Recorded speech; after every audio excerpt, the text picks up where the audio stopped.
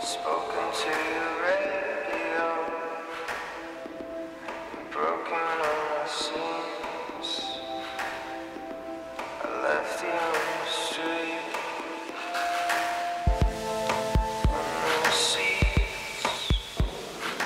You are now in Prague on the International Alpinism Festival, and you're about to um, say a few words uh, or give a speech on your climbing expeditions and so on.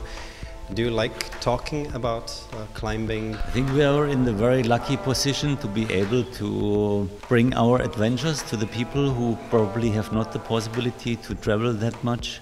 And I think uh, we can transport a lot of inspiration, imagination with our pictures. And um, I think this is a big fortune to be able to inspire people. When did the idea about all 8,000 peaks started? It was not after the first one, of course. I did uh, quite uh, uh, a lot of 8,000 meter peaks before, and then on our on my ninth, it was after we climbed together, my um, husband Ralf and me, uh, Kanchenjunga, the third highest peak in the world.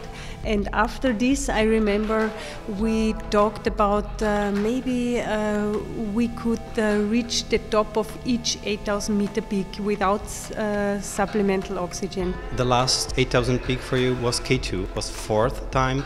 There were some special occasions before, like uh, when your, one of your friends died. When uh, our friend Fredrik Ericsson um, fell down, it was a very, very sad, uh, very tragic moment. And then I didn't know if I would like to turn back to K2. There were tough times not only on K2 but also on Dhaulagiri um, during the attempt in 2007 because you were hit by avalanche.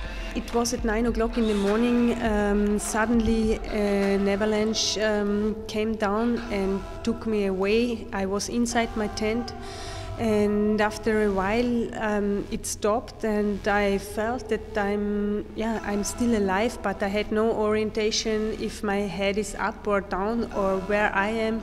I didn't know. I think when we are climbing together, I don't feel fear. I see that uh, Gerlinde has a very high level of technical experience, and so I trust completely in what she's doing. I think this makes you even more unbelievable. Like the first woman who did this, and she's also vegan. I think um, each body um, works different, and I feel very strong with this.